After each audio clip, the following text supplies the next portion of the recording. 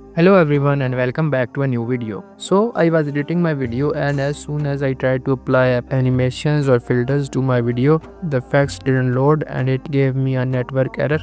So in this video we will fix this issue. If you are facing this issue make sure to watch this video till end.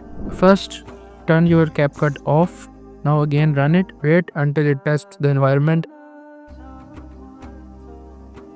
now click the settings icon here and now click on this version icon.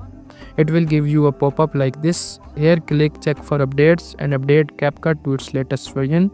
If the download doesn't start disconnect your internet and then reconnect it again. Now click try again here and your download will start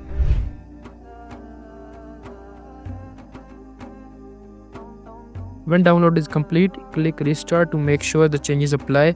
Now open your project and wait for a few seconds for the settings to load. Now go to the animation and check it's all loaded and ready to apply.